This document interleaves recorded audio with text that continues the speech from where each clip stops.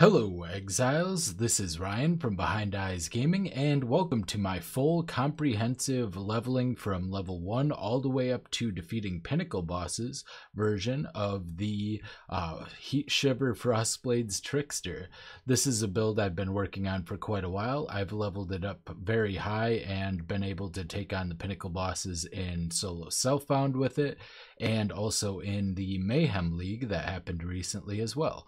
So uh, it is capable of covering pretty much everything into the game, uh, potentially including Ubers, but as we'll see, that will require a lot of investment. But everything before that, it's going to be able to take down. It's a very good all rounder build, an extremely fast mapper, quite a good bosser once you have everything set up. Uh, so, yeah, I'm going to go over where you need to start.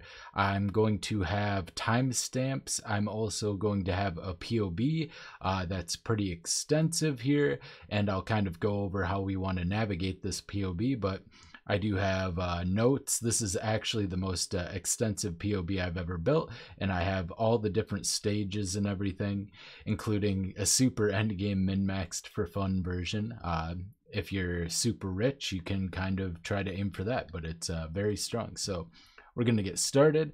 Uh, the first thing I have here is uh, level 1 through 12. Level 1 through 12 is when you're going to be using Frost Blades initially up until you get Spectral Helix. Spectral Helix is so insanely strong mechanically as it can hit multiple th- or hit things multiple times. Uh, has an increased attack speed multiplier. Uh, it's just very very good, and its damage effectiveness is pretty crazy as well. So we are going to switch to that, but up until that point, we are going to be running uh, Frost Blades. And so, one of the things I'll be going through the notes here, uh, you can make a Scion first to mule some extra items, get the onslaught support before you do the uh, first little side quest where you'll get your extra gems.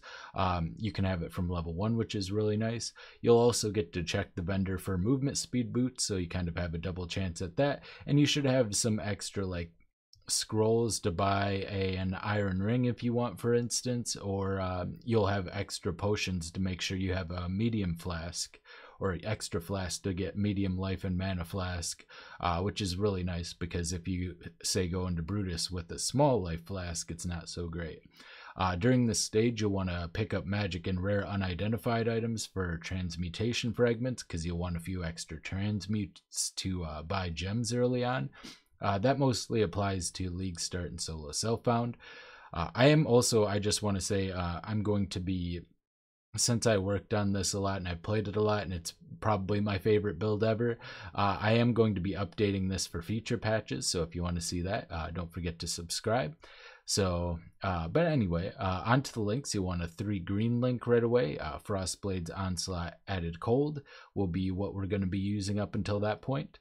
Uh, I'm using Frost Bomb for exposure. This is also kind of good for the uh, very beginning because we are going through like these elemental damage nodes. Uh, Frost Bomb will actually do a pretty significant damage uh, early on, and we can use it to clear like the squids uh, and skeletons in the early portions of the game. Like anything with low health, we can just drop it on big packs of those, and it should clear it. Uh, the first couple of things we're going to be using uh, is going to be clarity and precision. Clarity will just help us with our mana so we don't have to spam, you know, flasks all the time or so we don't run out. And precision is just a, a little extra accuracy. Uh, we'll be using Ancestral Protector if you can get it. I actually don't think Shadow can get this, uh, but if you'd like, what you can do is you can actually just with the Scion you milled, you can run and do the breaking the breaking some eggs quest really quick. Uh, it's just gonna add an extra like probably two to three minutes possibly and uh, you'll be able to mule over Ancestral Protector as well. Um, and then we're using two different movement skills. Dash is just to get over like ledges and stuff, and Whirling Blades is going to be our main movement skill. We're going to use this to get everywhere eventually when our attack speed's high enough. Uh, probably won't use it quite as frequently early on though. All right. So that's our gem setup. The skill tree for this portion is very simple. We're going through the elemental damage, and then we're going down through the life, and we're going to start making our way down here. Um, items, the items here are not like what you should expect to get. They're not an expectation. They're kind of goals of the general stuff you're looking at. So uh, you are going to want a claw for whirling blades or a dagger, but generally speaking, uh, you can for the first portion of the game uh, use whatever. If you get a high damage weapon of another type, you can use that. You can just grab like flame dash for your movement skill instead of whirling blades for a while. Um, but generally, what we're going to be looking for is any kind of damage, attack speed, uh, anything like that. Uh, claw being preferred but not necessary. Um, and then like you know life, attack speed, um, regen, defenses, pretty much anything like that. Uh, damage, some resists. Uh, you'll probably want at least uh, one sapphire ring before going into Merveil, if possible, and possibly cold resist on another piece of gear if you want. But uh, what you can do is you can just sell an iron ring and a blue gem that you can buy for one uh, wisdom scroll uh, from the vendor. And you can just sell those two together and you'll get a sapphire ring. So, yeah, um, anything like that. Uh, generally speaking, an iron ring is going to be pretty good just in general in the beginning, just to give you a little extra damage. Um, and Heavy belt is probably the belt we're going to be using most often because we're going to need strength. And then, yeah, our flasks. So uh, moving on to the next part, got levels 12 to 24. Uh, you'll want to make sure that you switch these all over and also set up the proper configurations for each portion here. Um, but I don't think we have to change any of the configurations except uh, possibly, oh, the one thing we are going to want to change is uh, we'll switch resistance penalty to none. And for the end of this, we will have uh, Help Alira. I believe, yeah, that should be before 24 for sure. Uh, so for the notes here, I have uh, you'll start to acquire gems that you won't use yet. Uh, in Act 2, I think you get Nightblade, Trinity, and Elemental damage with attacks. Uh, we're not going to be using them quite yet, but you'll want a weapon and shield or something like that, or two weapons in your weapon swap. Uh, so that you can level up these gems and swap them over when you need them. You can also just go back and grab them later if you'd like, but it's always useful to have stuff leveling in your weapon swap. Um, and then we're going to be helping Alira, which is going to be useful, but we're going to respec later using 20 Orbs of Regret and an Onyx Amulet, which will allow us to get the two skill points as if we help or killed all of the bandits later on. So, um, is kind of just to help us out with mana sustain, resistances. Uh, we are going to get some crit multi. Uh, we're not really using crit yet, but here's where we decided to go. Um, I should probably go over the skills because it'll explain the skill tree a little bit better. Uh, so for this portion, ooh, I accidentally added, uh, we won't be using elemental damage to attacks yet because we won't have a four link. Did I do anything else here? Um, these don't have to be linked together. I just kind of have them all grouped together. You're not going to have these in a four link at this point, but yeah, still running, uh, instead of Frost Blades, we're now running Spectral Helix and still just Onslaught and Cold damage. Um, if you have the unique helmet that gives you Onslaught, for instance, uh, you can get rid of Onslaught and put uh, any other damage link like elemental damage to attacks. Uh, if you have a green, green, red, or uh, you can technically use Nightblade, but Nightblade before you get crit is kind of bad, honestly. Uh, still using Frost Bomb for now. We can no longer use this for clearing at this point. Um, it's just not going to be one-shotting anything anymore, so it's just used for exposure uh, so that we get the extra damage from our added cold damage.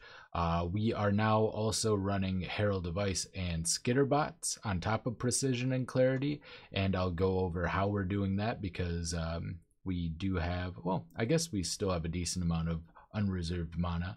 Um, still Ancestral Protector, Dash, and we've added faster attacks to Whirling Blade.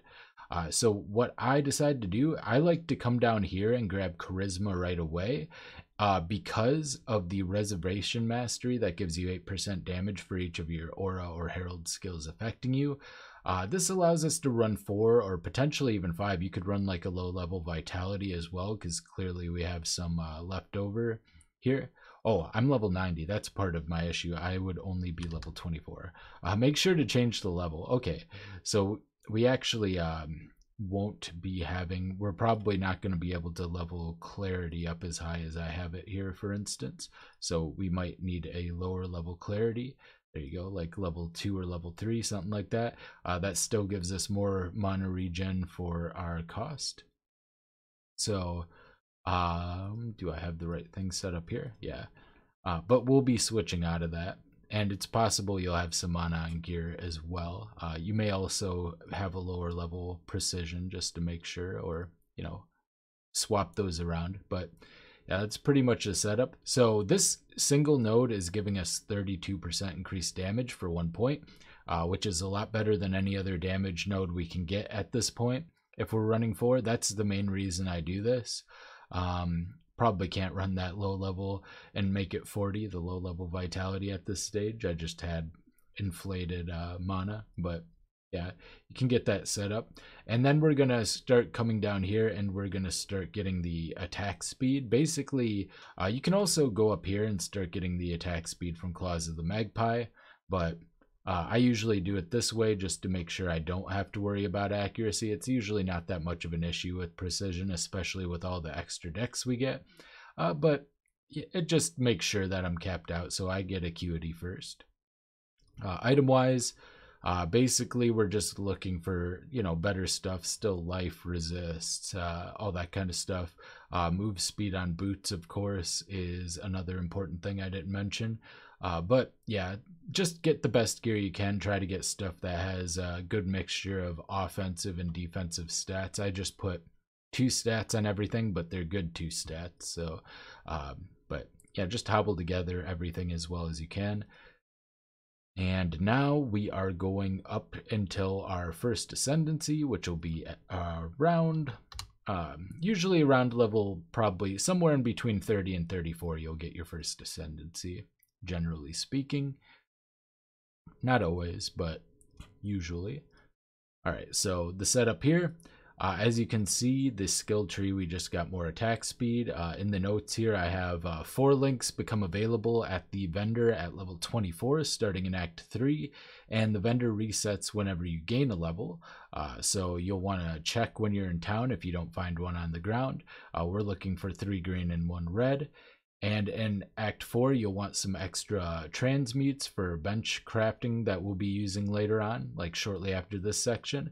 Uh, I would recommend trying to get at least 8 extra transmutes, and if you don't, you can just pick up rares that are bases that you're not going to use, like, uh, you know, swords or daggers or axes or clubs, any kind of rares you find that you can't really make use of, and just selling them unidentified to get transmute shards uh, because the cold damage crafts are going to become available in the uh, Crystal Vein in Act 4, and those will help boost us up quite a bit. So uh, up here, uh, getting leech is really nice. It kind of just makes it so that we don't have to worry too much about, uh, you know, mana and that kind of thing. Uh, and at this stage, we're also going to be specking out of. Uh, we're also going to be specking out of uh, clarity, so we're not going to have the mana regen there, but we will have the Alira uh, mana regen at this point. Uh, we're just focusing on getting attack speed uh, and damage, so Claws of the Magpie, Leech, um, and other than that, we filled out Acuity and uh, we're starting to come through this part because we're going to need to go down here pretty soon. Um, as far as our links, Spectral Helix, Onslaught added cold elemental damage with attacks. Um, and then we still have Frost Bomb. We're now running Precision, uh, Herald of Ice, and Hatred. Uh, Hatred's going to be a big boost to our damage. We do lose 8% damage from this mastery, but honestly, it doesn't matter too much. Um, and you can see we have enough unreserved mana to make this work now. Uh, Ancestral Protector, still running that. Uh, same, everything else is kind of the same here. Um, I don't think much has changed on the items. You just kind of want better versions of stuff you already had, if possible. Uh, two stone rings become more widely available somewhere in Act 2. Um, so I think there may be level 16 or 20 requirements. Oh, I think they're 20. So yeah, basically just work on that. Of course, every time try to make sure you're upgrading your flasks. If you get utility flasks, I just left these open. You can grab those. All right. moving on to the next one. Uh, 34 through 55. This one's a big jump. Um, you know, there's some sections where there's not a ton to talk about, and you make big leaps in progression.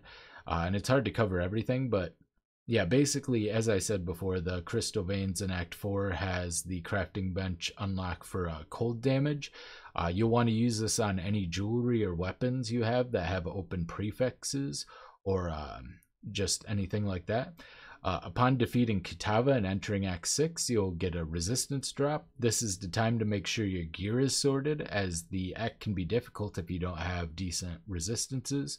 Don't be afraid to use resources such as essences and orbs of bindings and the crafting bench to upgrade your gear, and you'll want to have at least 50 or higher uh, elemental resistances after the drop. Otherwise, you're probably going to have a pretty tough time, like the, uh, the fire cannibals right in the area right afterwards do quite a lot of damage. Uh, there's also the little dogs that leave the burning ground behind.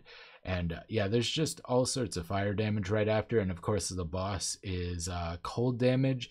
And you actually have some lightning damage too uh, in the uh, tower as well. So uh, the rematch against Brutus.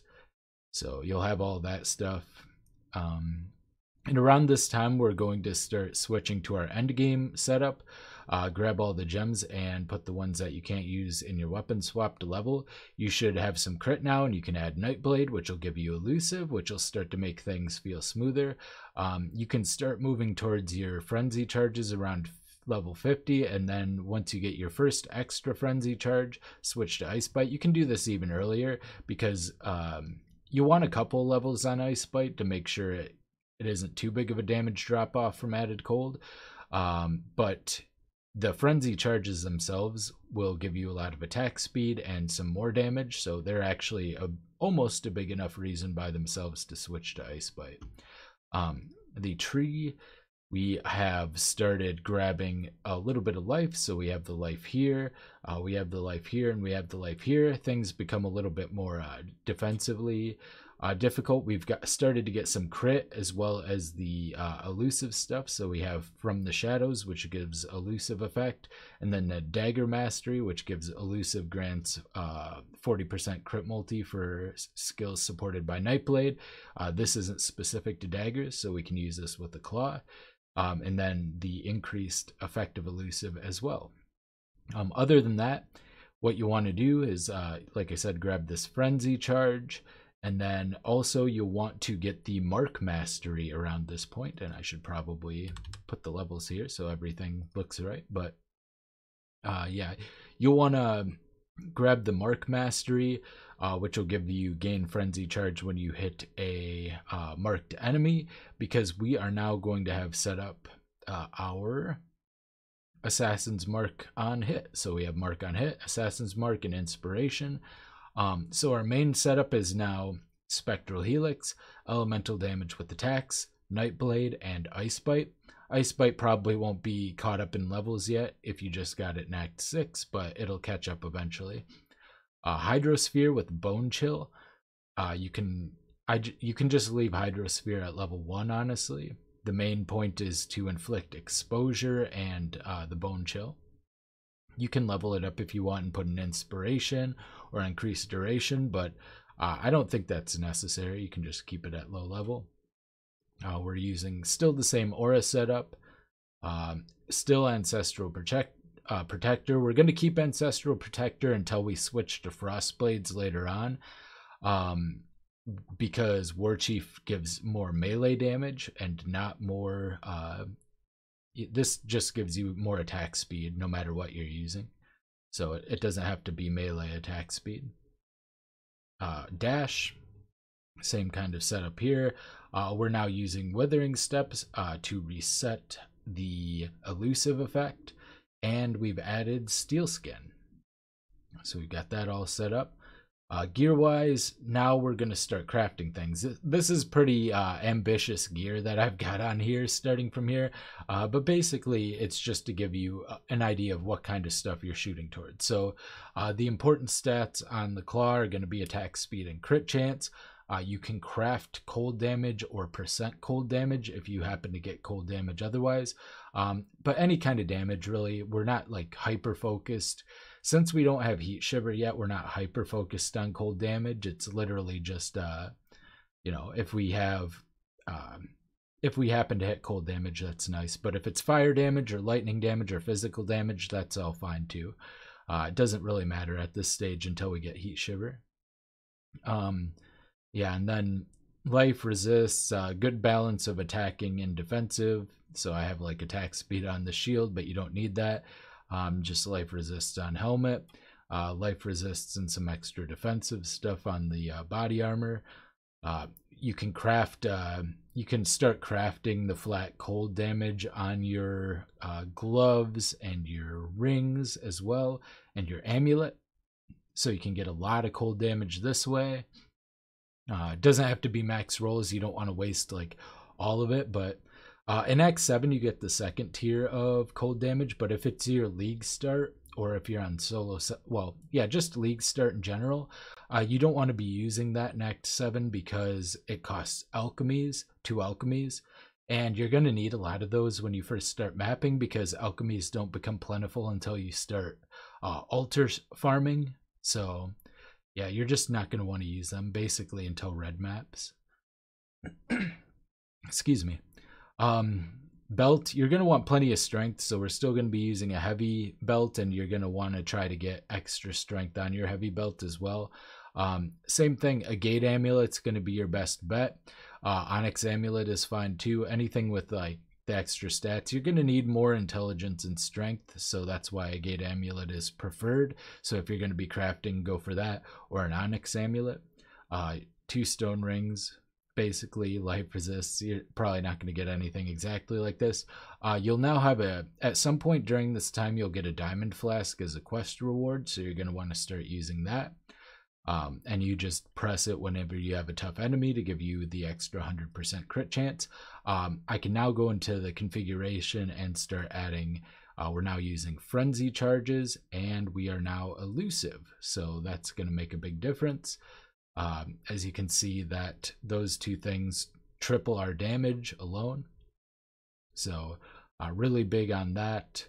Um, I don't think there's anything else to check at this point stage because we're not going to be getting like power charges and it doesn't matter if they're we're probably not shocking unless uh, you have lightning damage somewhere so uh, get that all set up but yeah we kind of have the backbone here um, and once you get up to that point, you're going to be moving on to the second ascendancy. So I'll move there. And from the second ascendancy, that'll take us all the way to the end game. Uh, so the notes I have here, um, you can basically swap to Frostblades anytime you'd like after the second ascendancy. If you do so, um, two reasons for this. Uh, the mob density in the latter half of the game starts going up, and Frostblades is just better clear. Um, but it's going to be doing a lot less damage still. So you may want to keep your Spectral Helix in an extra gem link or in a weapon swap um, so that you can pull that out for bosses because it just it's going to clear bosses so much faster. So unless you have spectacular gear, I would uh, not just full time use Frostblades just yet. I would hold on to the Spectral Helix. Um, you want to try to get mark mastery for your frenzy charges on hit against marked enemies as soon as you can after switching to ice bite. Uh, this is so you can keep your frenzies up pretty much permanently. And uh, I like to get my third ascendancy right after getting the skill point for Act 10, but you can grab it whenever you want. Uh, but make sure you start picking up your masteries before then, uh, because we will be for our third ascendancy uh, grabbing. Oh, do I not have this set up? Uh, we'll be grabbing Polymath, which as you can see is quite a big damage boost if you have some masteries. Uh, we're getting like 40k damage here. Um, I'm usually around level 67 when I clear the axe and start moving on towards maps. Um, you, you can pretty much be anywhere. A lot of people are in between like 65 and 70, I would say is pretty average. Uh, so we get that set up. And then uh, lastly, you want to craft a bleed or corrupted blood immunity on your on a, a divine life flask as soon as you can. uh, you're going to start running into like corruptor mods and it's just going to be a pain to deal with if you don't have that. You can use the pantheon that limits you to f- having five corrupted blood stacks uh, if you want up until you get that but it's still going to be pretty difficult to deal with. So i just try to get that out of the way early. You can upgrade it to a better one later on um, but yeah that's pretty much the setup. Uh, skill tree wise we start to we got the second uh, frenzy charge. We got um, actually i'm I, am i am not allocating this yet because this was actually meant uh, to be up until we do get the ascendancy. So uh, probably should have covered that. But yeah we're we got like intuition because it's easy life it's one point away. Uh, this is when i start getting the flash freeze. The only reason i pick up the cold mastery is specifically uh, because you can also you don't have to use the if you don't have heatshiver you can do the uh, physical damage converted to cold instead. Or uh, potentially the uh, cold exposure you inflict impl- uh, applies additional minus cold resist either one of these as you can see they're pretty similar damage wise so you can do one of those um, I just have this on here in case you do have heatshiver, but yeah, you can fully just put whichever one you'd like, really, on there for now. Uh, but later on, you'll definitely uh, want to uh, get the increased freeze duration when you have heatshiver. So I'm just going to keep that on there to uh, keep the confusion away, type thing.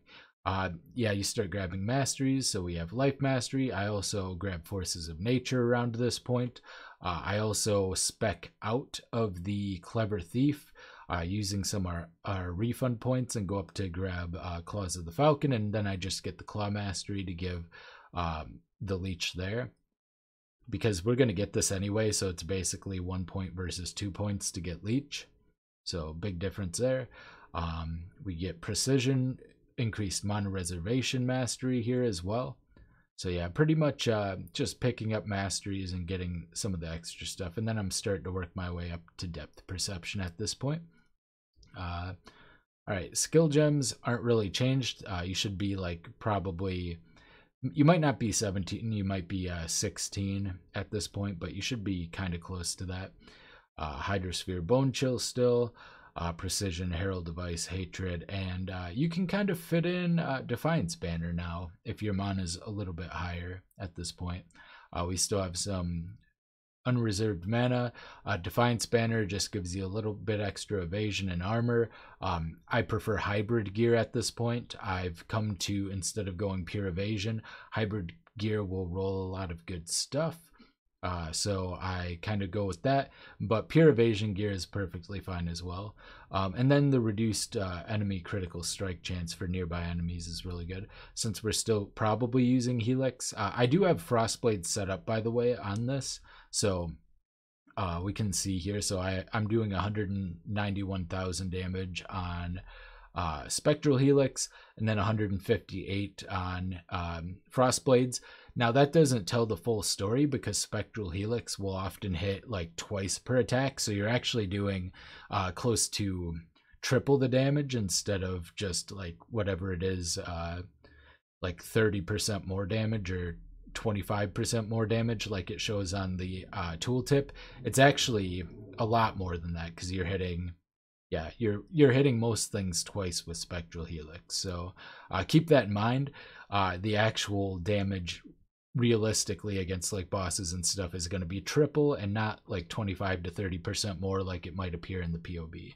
So, uh, but yeah, back to more than likely we're still using Spectral Helix up until we kill T- Kitava uh, Ancestral Protector, Dash, and if you do use Frostblades, you can switch over to Ancestral War Chief uh, from Ancestral Protector. Uh, same story on a lot of these things. Um, yeah, nothing's really changed here. Uh, gear wise, uh, I didn't make any changes to the gear here at all, I think, except for I added uh, Stibnite and Sulfur Flasks, which we get from quest rewards up until this point. So Oh, and silver flask too. So you should be able to have like a full array of utility flasks. Uh, probably not going to have them crafted yet. You won't need a mana flask anymore. And then I have my uh, bleed immunity divine life flask. You can do like just beginner kind of uh, crafts on your flasks, of course. If you want, just transmute them. Uh, try to get some basic stuff on them, but it isn't super necessary. I accidentally rolled over my headphones on my chair. Um, take a quick sip of coffee here. All right. But yeah, I didn't even make any changes because if you had gear this good, you, this is also good enough to beat the campaign. So, uh, kind of a workaround here. All right, so you've beaten the campaign. So where do we go from here? Uh, this is early maps. Now, if you have everything set up properly, if you're properly geared, uh, you can pretty much move right into maps.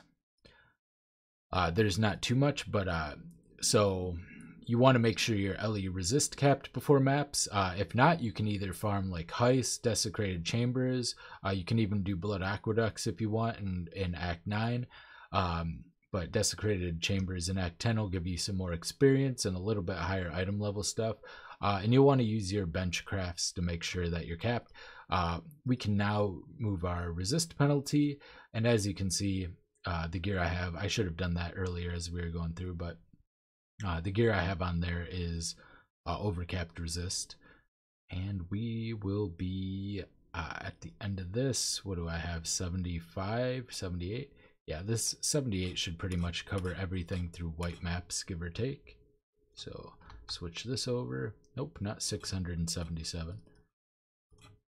My double click isn't working properly. There you go. All right, fixed. Um, you want to Okay, now's the time where I'm going to pull up the Atlas skill tree. Hit this over here. Okay, so you'll want to focus on um, Jun missions and essence points in your skill tree for the first 10 or so maps. So you'll do your uh, tier 1 and 2 maps, basically. And the way you'll set everything up is you'll want to go up here grab this uh, covert stakeouts that'll give you increased chance uh, for random encounters in maps to have jun mission or to be jun. And then uh, master missions from completing your maps have 100% chance increased chance to be jun. Uh, we'll also be grabbing focused investigation which gives increased um, additional chance for jun missions. And then we will grab the essences so that'll be uh, one tier one and two maps. We'll have that set up, and you can blast some maps, get some Jun missions built up. Uh, but basically, there are a ton of. Uh, we're gonna need a lot of Jun missions and a lot of encounters there because there are a lot of unveils that we want. And in particular, we're going to need Gravicius and Elreon. So we want to remove people from Betrayal until we're sure we have Gravicius and Elreon uh, in our Betrayal board because they both have necessary crafts for the end game of this build. So, excuse me, uh, you'll want to make sure you have that. Uh, if you're a solo self-found, you want to make sure you set aside any magic find gear you have that has good stats. So if you find a ring that has like 30% magic find and life and a resist on it or something, uh, make sure you stash that. Any kind of magic re- resist or magic find gear you find, uh, stash it because you might need to use it later to hunt for uh, core uniques, and I'll cover that a little bit later. Uh, you'll start. You'll want to start getting spell suppression at this point. Uh, you want to be 100% spell suppression before you reach red maps. If you're in softcore, uh, earlier if you're in hardcore, you want to reach 100% spell suppression ASAP, like immediately if you can, uh, even sacrificing other stuff to get it. But generally speaking, this isn't a hardcore build. Uh, some of my viewers have played it on hardcore, and in softcore, I think it's fine to just make sure your spell suppress capped before red maps. All right.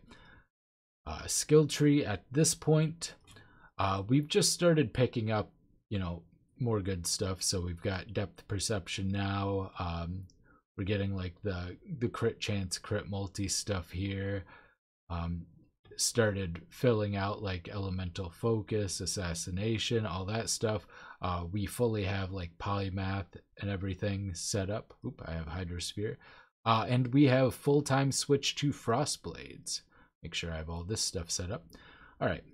So yeah we're we're now full-time frostblades um one of the aims as well we should be getting. This should be obvious, but we should be looking to get a 5 or a 6 link at this point if we can. Um, while we're doing yellow or white maps and moving into yellow maps.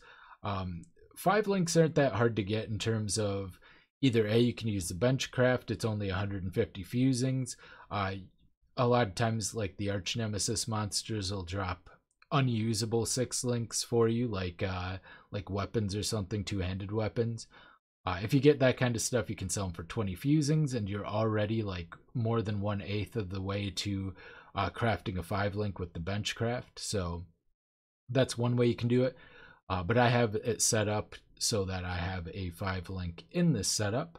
So we have uh, Frost Blades. For clearing, we're going to be using Immortal Call, or Ancestral Call rather. Uh, so you can see our damage goes down. And then for single target, we do a gem swap with elemental damage with attacks.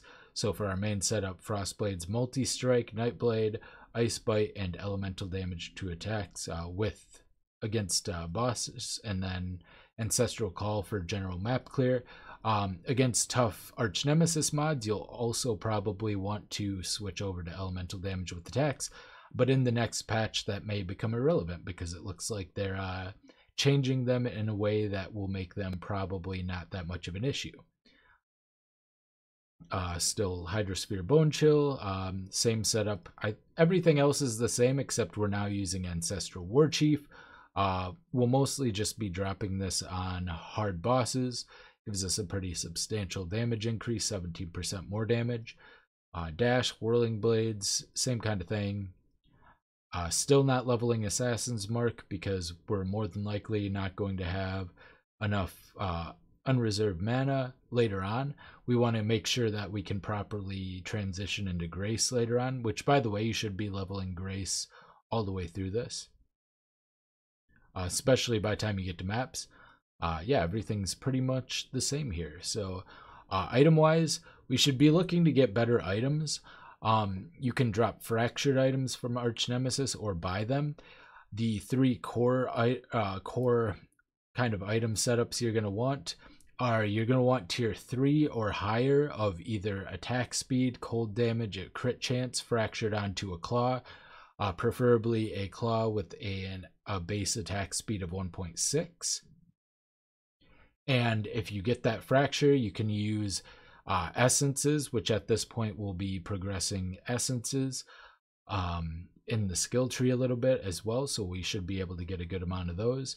Um, but you can use essences or harvest to craft the others, basically kind of target crafting. Uh, also, potentially you can use fossils as well.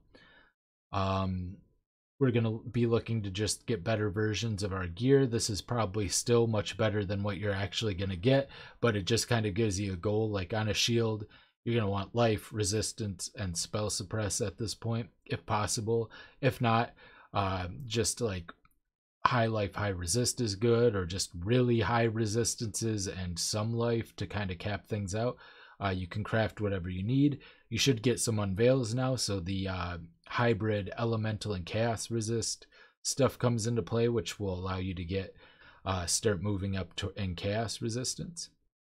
Uh, helmet, if you don't have your heatshiver yet, uh, which it's possible you won't, you'll just want high life, high resist. Um, and if you can get spell suppress on your helmet, I'd prefer not to because then you're gonna have to mess with your uh, suppression again when you get your uh, when you do get your heatshiver. So I'd prefer not to get suppress on my helmet, but you know, if you get it on there, it's no big deal. You'll just have to switch things around later. Uh, body armor, same kind of deal. Life resist, uh, hopefully spell suppress. Um, gloves, we can also get offensive stuff on gloves, so like life and offensive stuff. Uh, gloves is one of those things that, if you want, you can skip out on the life a little bit to focus more on offensive stats, and it's not that big of a deal. But uh, yeah, you can definitely get life on there. Uh, boots, uh, boots, you definitely want to try to get spell suppress on, and then movement speed and life are going to be a core things, and uh, any resist you can get really. Uh, amulet, you're probably not going to have a yoke of suffering unless you bought one. Uh, yoke in mayhem was really expensive. I think a lot of people are coming around to the power of yoke. So, uh, whereas at the beginning of Lake of Kalandra, it was very cheap. And it might have just been because there weren't that many people playing Mayhem, but um, in, the, in any case, you just want to make sure the amulet gets the jewelry is for getting your attributes sorted. Uh, the attribute or the amulet in particular. So like all attributes can be nice, or just like increased strength or intelligence rolls. And other than that, uh, any life and resist you can get, and then like any kind of uh, offensive stuff, whether it be cold damage to attacks, uh, phys damage to attacks, is fine as well because we convert 60% of it to cold anyway. Um, you can get attack speed, you can get percent cold damage, you can get plus one to cold skill gems, which is fine too. It's not like super good, but it's like 4% more damage still uh, crit multi, crit chance, anything like that, really. Um, same thing with rings, kind of a balance between offensive and defensive stats for now. Uh, we're going to be, you know, probably using two stone rings to help with the resistances here as well. And then, yeah, any offensive stats you can get on top of that. Um, and yeah, belt, same kind of thing, except you can roll elemental damage with attacks uh, on it, which is nice. Uh, you can also craft like hybrid armor evasion is another thing for a prefix if your suffixes are filled up. So there's lots of good stuff here. Uh, but you're going to want as much strength as possible. Um, around this point is when we start crafting our flasks, if we can. Uh, preferably, you find from Arch Nemesis mods higher item level versions of your silver, stibnite, sulfur, and diamond flasks. Um, I just put like generally good stuff on here and then the chance to gain a flask charge when we deal crit. Uh, we have 71% crit chance at this point. Uh, you know, results may vary there. I've had like 34% crit chance at this stage before. Um, where, and at that point, these won't be as effective, but yeah, just kind of do your best on these. Uh, and you're going to want to start automating them using your uh, what are they called? Instilling orbs. So yeah that's around that time. Um, so this is covering early maps. Uh, let's get into 78 to 90 which is getting our uniques and starting to progress into red maps. All right. So we have that kind of stuff here. I don't think, okay, now we're going to start having to add some more stuff. So uh, because we now have Heatshiver, Atziri Step, Southbound, and Yoke, I'm going to uh, change some of these things up. We're going to go ahead and add all of that kind of stuff. And uh, yeah, we have Heartstopper on. All right. So let's get to the notes here. Um, at some point here, you'll want to do Uber Lab if you find, or if you're unable to find a trial to get an offering of the goddess, uh, you'll do Kirac missions. I should probably at this point as well uh, pull up the skill tree. So what you're going to want to do when you're going from uh, later white maps to yellow maps is you're going to want to pop up through here. Uh, this is especially important in solo self-found. You're going to want a lot of Kirac missions. Um, and also, these nodes up here just help you with your map sustain and getting up to higher maps. Um, you can spec out of these if you're magic finding in lower maps uh, in order to make sure that you're finding more lower level maps. But uh, for now, those are nice to spec into. And then from here, I like to make sure we're getting the strongbox stuff. So I go up here and then I grab uh, the strongbox node down here to guarantee an additional strongbox. Uh, you can spec out of the Jun missions and all the Jun stuff basically as soon as you get all of the necessary crafts, which are going to be uh, the percent pen- elemental penetration on the weapon, the physical taken as elemental craft for body armor, and the minus mana cost uh, Elreon ring for uh, for jewelry.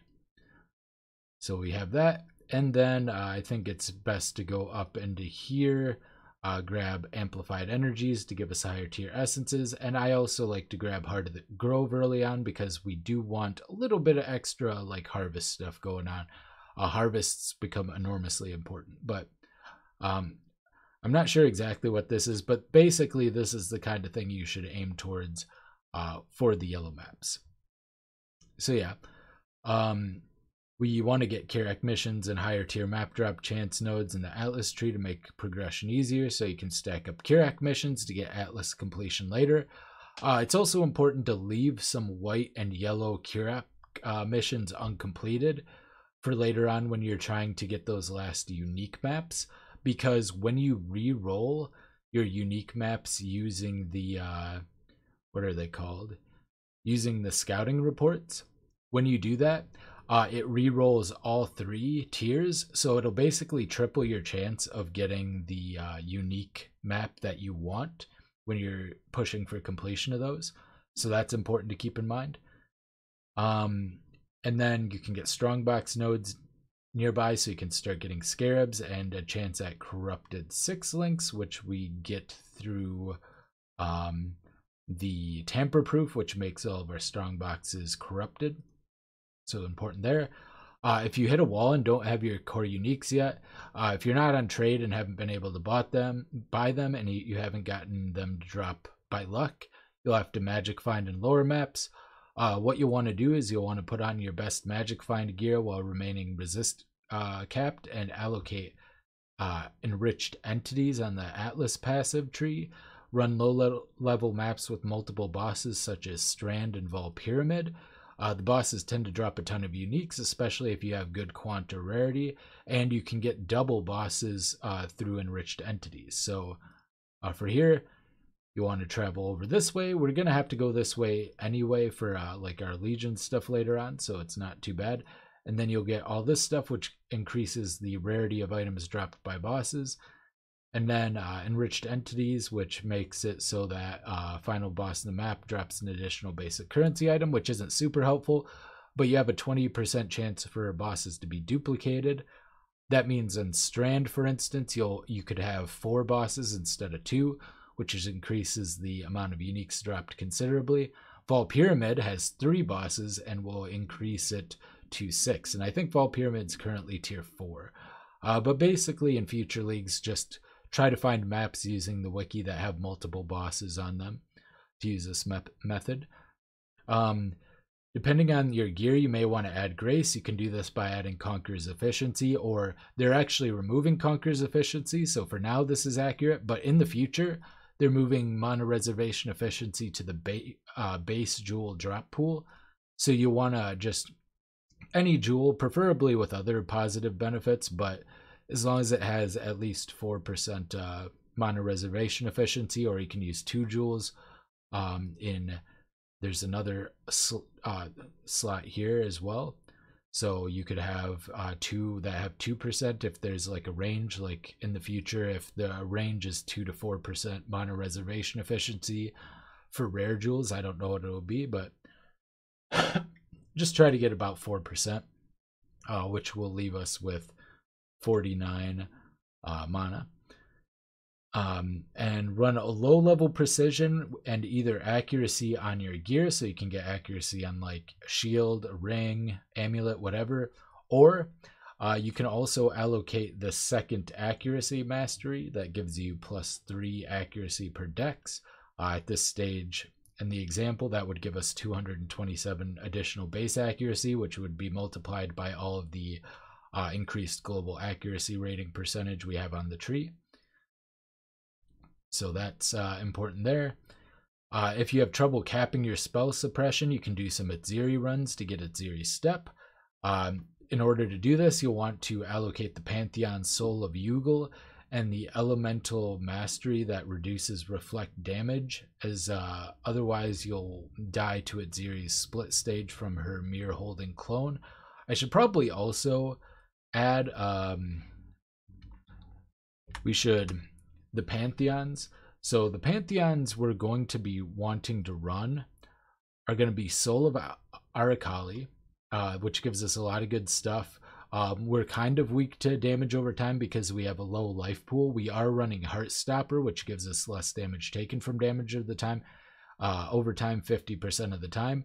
But Soul of Arakaali is just overall helpful. Also makes it easier to cap um, against damage over time from Chaos Resist with the Void Anomaly. All You want to get all three of the uh, extra souls for this. And for Minor God, generally speaking, we're going to be wanting to run Soul of uh, Abberath because Burning Ground is such a big deal.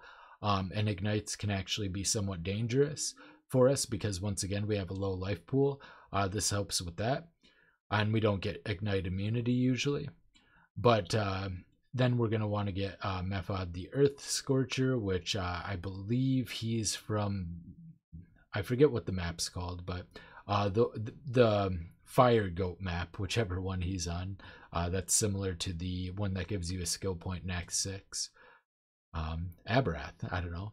But yeah, um, but for this particular one, you'll actually want to run Soul of Yugul, and then you'll want to swap over this mastery that gives you uh, exposure additional exposure and you want to instead allocate the uh, reduce reflect elemental damage taken. All right. Um, and once you have those two things, you'll be elemental damage immune. You can then uh, kill Atziri and you won't accidentally kill yourself to uh, reflect. And you kill as many Atziris as you need to kill in order to get Atziri Step, which has a lot of spell suppression. As you can see, it can roll up to 26% spell suppress. So very good there. Um, yeah, you just kind of magic find until you get at least your heatshiver. I wouldn't move on at all until you have a heatshiver. So like, um, heatshiver is like the mandatory thing. It's a very common unique though. Um, I got a bunch of these, you know, while I was trying to magic find for my yoke, which is a little bit rare. Uh, Southbound is also very nice to have at this point uh, because our crit chance is high enough that we're going to be freezing all the time, and it gives a huge amount of flat cold damage to attacks. And the 100% increased freeze duration on enemies is enormously powerful once you have your heatshiver uh, because it lets you keep things permafrozen and thus you get the bonus the 100% cold damage is extra fire uh, consistently so uh, skill tree wise we have um, a, basically added this mastery. We've now added the grace mastery. We now have this for the 4% uh, mana reservation efficiency so that we can run grace.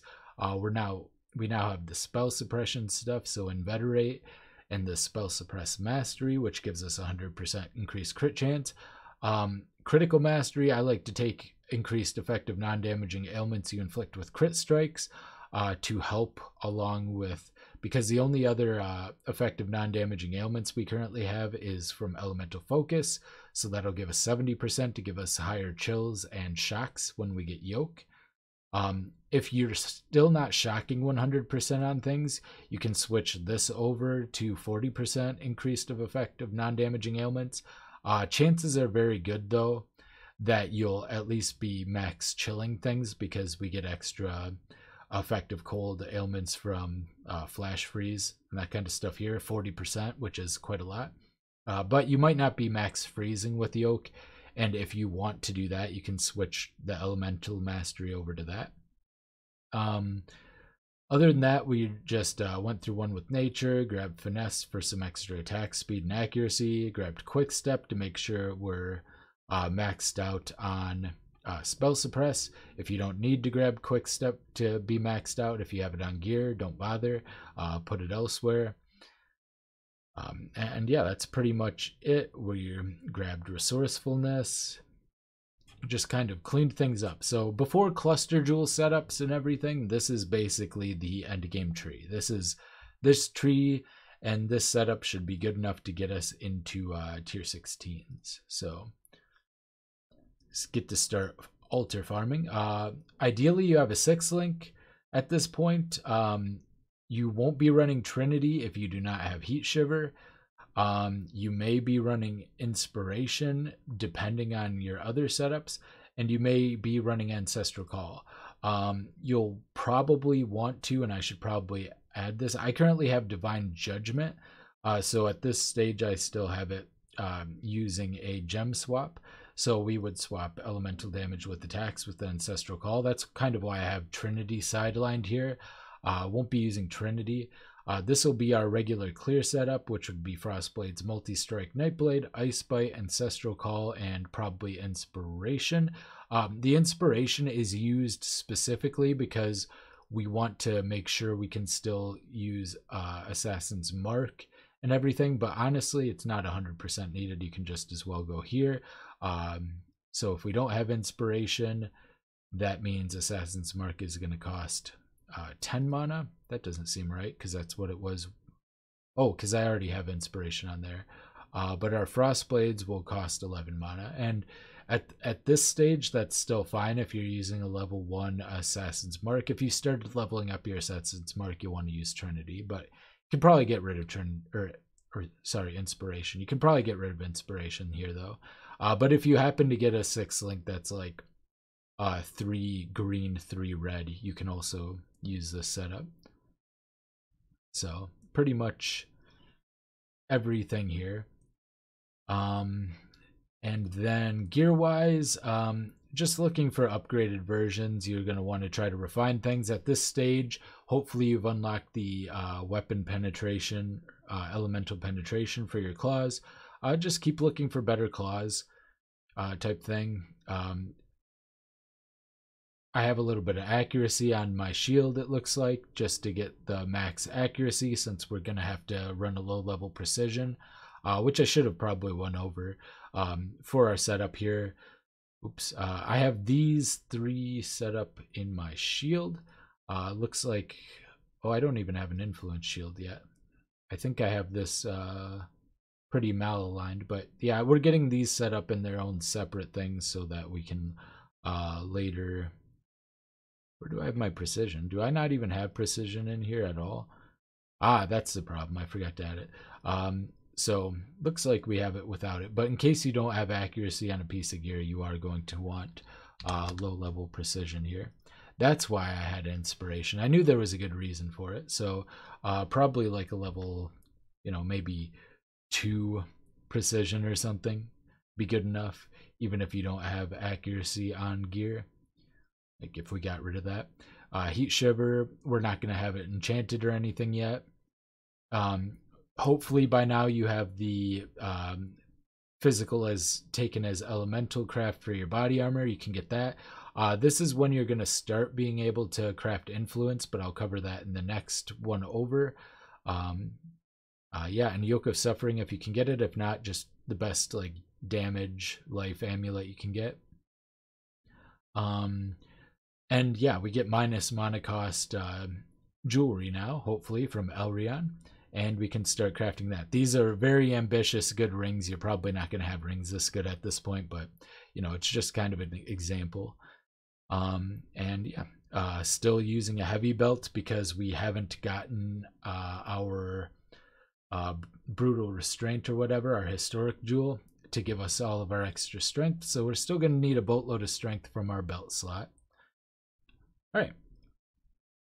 That covers that.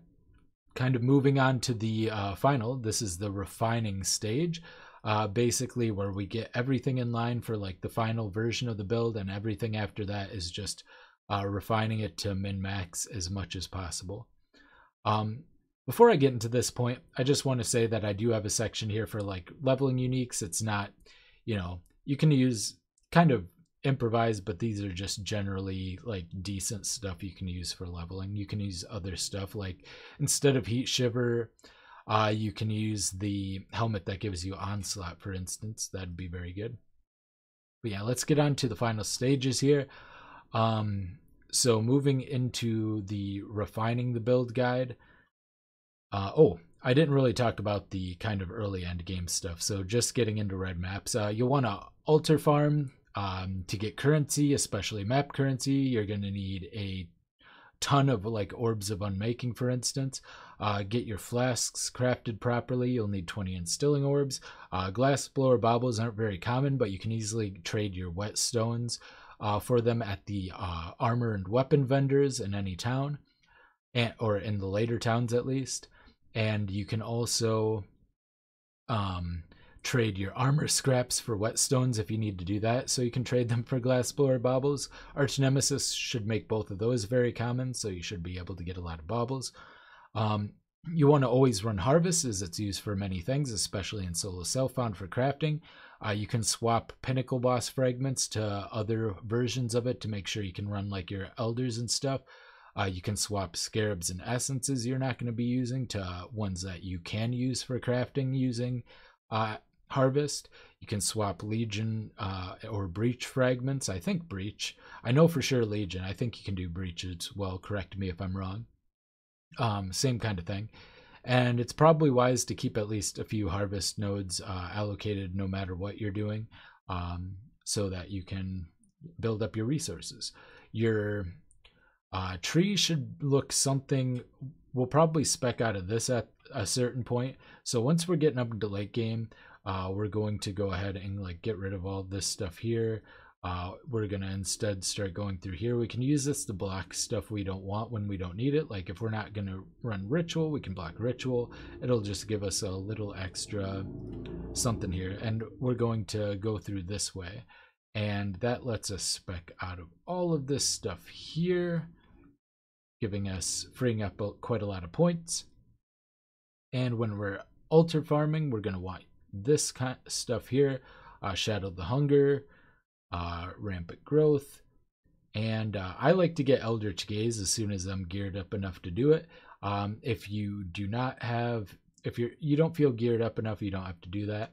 Uh, other things that are important to do, uh, you can get rid of this when you're not like farming for specific stuff and spec into it when you need it. Um, but yeah, from here we're gonna do like Legion farming stuff. So we're gonna want to get all the Legion stuff. Um, because eventually we're going to want our historic jewel. So we get that. Um, I like to get uh, Abyss stuff because it's a lot of experience. So you can grab that if you'd like. Um, basically, mostly everything, like you can get Abyss, you can get the other Essence stuff.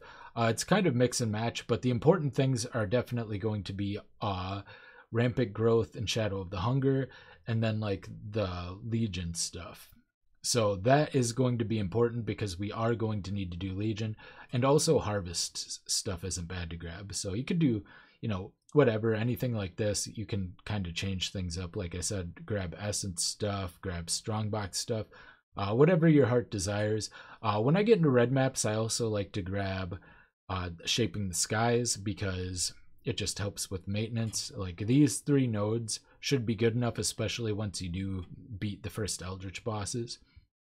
Um, but yeah, uh, Expedition is also good to use early on as ROG will help with your uh, upgrades, especially jewel crafting. Tujen is also nice for currency early on. And I skip Gwennen and then uh, the other guy, whatever his name is, uh, Dannig or whatever.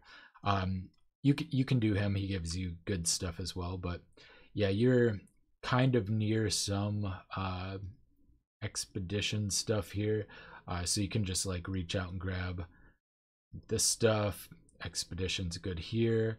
Uh, oops, that's a harbinger stuff. But yeah, you can pop out around this way and grab the expedition stuff here and you'll you'll have to like spec out of some stuff when you go through but yeah, basically Expedition is really good. So uh, very happy to go and grab all of that stuff for progression. Uh, I talked about my other guide, how to craft various things with Expedition, um, with ROG specifically, especially jewels. Uh, Delve is also helpful for map sustain. I don't bother specking into Delve in the Atlas passive tree. I just run my earlier missions, uh, delve down a little bit, and kind of just grab them as I go. Uh, we do get a little bit of extra delve the way we path uh, as far as delve missions compared to other ones. Uh, we get a 4% increased chance of it being a delve mission. So, um, and you want to start by at least the end of yellow maps. The city nodes will give you tons of maps and uh, they respect your preferred map slots so make sure you delve a bit before here hitting tier 14 so they um, your preferred map slots will be respected by the delve cities so anything you put in them will uh, carry over so if you like favorite your if you favorite like underground sea or something which i like to use a lot for for altar farming, it will do that, uh, but it won't respect your atlas tree. So if you have a singular focus, you're not going to get all of the same map. Uh, you will just get like um, your favorited maps in a little bit higher amount, basically from the cities. Um, and then you want to clean up all your Eldritch quests, do your Eater of Worlds, do your uh, Searing uh, Exarch, do those two um, do all the maven quest up, up up to 10 witness bosses just to get those out of the way uh, kind of get your first started there. And then we can move into refining. Uh, so refining basically means we're going to be looking for lethal pride uh, we're going to be looking for cluster jewels um, and we are going to be looking for circle of fear specifically the one with increased cold damage while affected by herald device ice and Herald of Ice has increased buff effect. So I have some, and yeah, we're just upgrading. I'm not going to go over anything else in detail because it's just more of the same. I guess uh, you should note that you're going to want to quality up your stuff. So like uh, the first thing you should quality up is your frost blades. You're not going to want to do that using the uh, GCP recipe to flip it, but all of your support gems you are going to want to flip with uh, GCPs, except maybe Ice Bite, which you might want to leave. Um, if you do decide to flip Ice Bite to save GCPs, like if you're in solo self found and can't buy them, or you just don't have a lot, um, if you do decide to do that, probably farm lower tier maps for a little while. Maybe use that as an opportunity to uh, magic find again in tier one or tier like white maps basically until you get some gem levels back up to make up for it because they'll reset to level one in order to get 20 quality. If you don't know, uh, basically you just sell a uh, level 20 gem with one gem cutter's prism. You get a 20 quality level one version of that exact same gem. So. Uh, but yeah, things to note here we're getting quality on all of our stuff uh, trying to uh, you know get Vaal to get it to 21 if possible. That stuff's important. Um, but other than that you know you're kind of just staying on the same path. Uh, so start here once you're easily farming tier 16s and have all the base uniques as well as a good amount of orbs of unmaking for respecs because we're going to have to mess around with a lot of passive trees. Acquiring lethal pride uh, that fits into one of your frenzy charges uh, or one of the nodes by your frenzy charges. Aim for at least one double damage roll and two more useful rolls or better. Otherwise, keep farming Legion. So, um, one of these two nodes, this one or this one, uh, you'll want a lethal pride that gives you good benefits in one of these two nodes. Uh, doesn't really matter too much which one, but uh, yeah, you can like the benefit of having it up here is that it allows you to take this node right here, which isn't strength of blood. If I get rid of this um, with, just let me despec out of this really quick. Uh, Wind Dancer, if you get high block chance and high evasion, you might want to spec into Wind Dancer. So optimally, this might actually be a better spot for this, but I just used an example of one I found. Um, this one is not like super beneficial. It's kind of middle of the road. It's got I I went like a quarter of the way down. Uh, you can use find timeless jewels to find ones for the best slot. So basically, um, say I'm looking for uh, this slot in particular. Actually, we'll just go to the one that I did use, which was Wind Dancer, just as the example. And you'll search for total DPS, uh, filter nodes, generate. You'll want Lethal Pride and then uh, I hit search and it brings up ones and it shows like which ones would be good damage for me in this spot. So this one has, this would be the best one for the damage for the stuff I have allocated, which is what the filter nodes is for. Uh, what I did is I went about a quarter of the way down and just picked one out for here. Like I found one that had double damage basically. I just uh, scrolled around a little bit uh, roughly in this area until I found one that had uh, double damage. So now, obviously, you can't be picky. I just wanted to show my methods to show you that I'm not using like a super overpowered uh, jewel here. But yeah, um, the one I picked has some useless nodes like uh, totem placement. does have life and regen, but yeah, just and strength. So the beneficial offensive nodes would be uh, crit multi, uh, double damage chance, and uh, Actually, that might be it. yeah. So not too beneficial, but you know, beneficial enough to get the point across. Uh, in my previous guide, I did show how to craft your cluster jewels, so you got that. Um, so for acquiring Lethal Pride, you just want to farm Legion, looking for cluster jewels in priority. For your large, you want an 8 or 9 passive, preferably 8. Uh, cold is the preferred. You can also use Elemental or Claw large uh, temporarily. Um, and then you'll want at least one critical and one uh, uh, ailment effect medium or two ailment effect mediums. Uh, the crit one is very nice because it has specifically the um, pressure points, which gives you 5% chance for your critical strikes to deal double damage. Double damage is really good for this because it makes it easier to freeze, basically, uh, is what it comes down to. All right. Um, and then um, oh, next big thing, we're going to be looking for a circle of fear and synthesized memory maps. These two next tips are the last things for getting us refined, which is to farm a hunter for the hunter influence shields or hunter exalted orb, which you can use to slam a shield in order to get the 30% reduced mana reservation mod so that we can run uh, grace more easily without having to jump through a bunch of hoops and we can have max level precision that way. Uh, so we can do this. And then Circle of Fear from Synthesis Memory Maps. Uh, allocate all of the synth- synthesis memory um, or synthesis map nodes, which are these ones up here. So basically, we would go, you know, whatever the best path for us would be, uh, pop up here, and we would get everything except for this uh, Memento Mori, the big one. So it'd get at least these nodes. Uh, you can get this one too for the extra pack size, but it's not super necessary. Uh, and you want to have all of that allocated while you're doing this. Um, and then uh, what we're going to do is we're going to set our fa- favorite map uh, as Mesa. So we're going to put all of our favorite maps as Mesa. And then we can either allocate uh, singular focus, which means only mesas will, will be able to drop. Uh, or we can also just go to Delve cities, which will give us a lot of mesas that way and uh, we just run maps until we have basically a huge amount of mesas like 20 to like 80 just a large number of mesas. You want a bunch of them. Um, you just go through all of them that aren't corrupted. You alch them all uh, and then you go to the mesa. Uh, make sure before you go to mesa you click off of singular focus. You can't have this on uh, while you're running the mesas or the synthesized maps can't drop. So that's a very important step.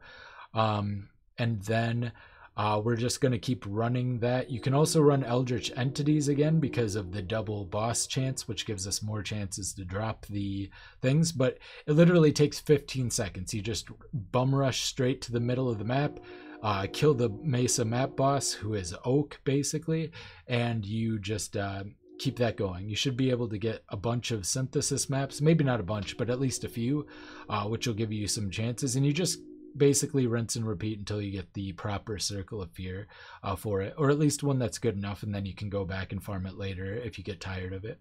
Uh, you should also, if you you can also, if you want, grab the uh, other nodes that give you increased chances to drop, like uh, conquered the conquerors and uh, remnants of the past, for instance.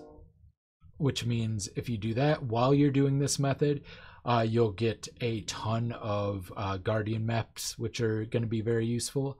Um, and lastly, the very last thing we're going to do, and I don't have this done, I don't have a Watcher's Eye, I don't think, in this setup yet.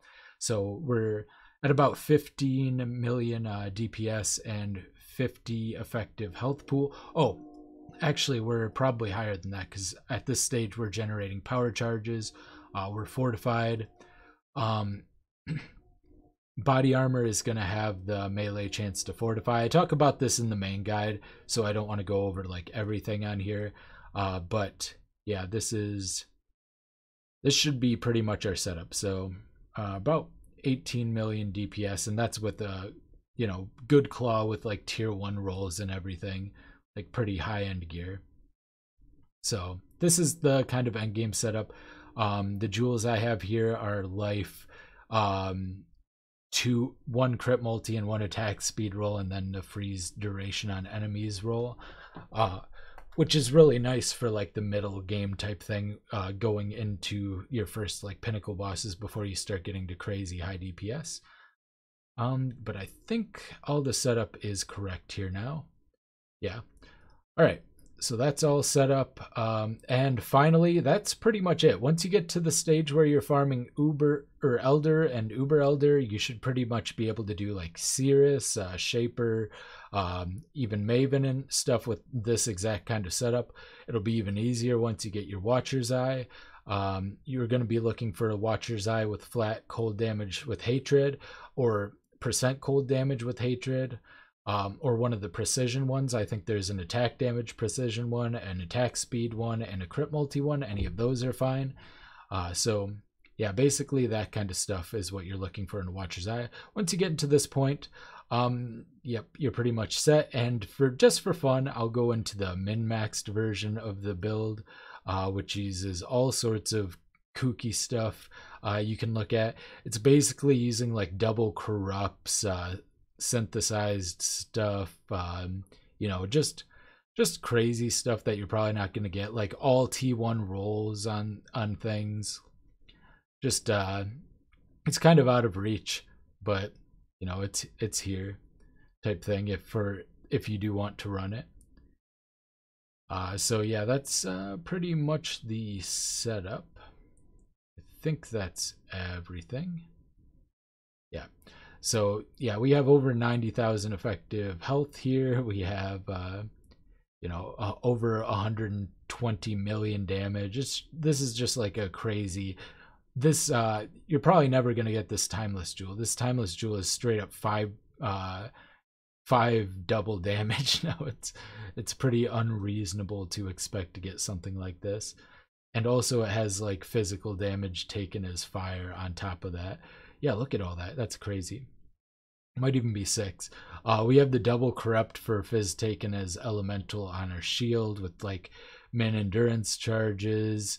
Um, you know, perfect, basically perfect everything. You're uh, probably not going to get this. Um, Legacy of Fury, I mentioned this in my main guide. This is like the end game type thing. This will increase your damage a lot. You should aim for this. This drops from uh oh, that that's where my problem is. Uh kill all. I didn't switch over to kill all yet. There. Okay, so actually only 120 million DPS, but uh, yeah. Yeah, you can go over this. I'm not going to go over this. This is uh this is the end of the video. I hope you enjoyed. I know it was a lot. Um but yeah, should be helpful. You should be able to successfully clear everything following this guide. Um you're probably unless you have mirrors floating around, you're probably not going to reach the min-maxed version of this build, but uh yeah, hope you enjoyed. This has been Ryan from Behind Eyes Gaming, and I'll see you next time. Bye.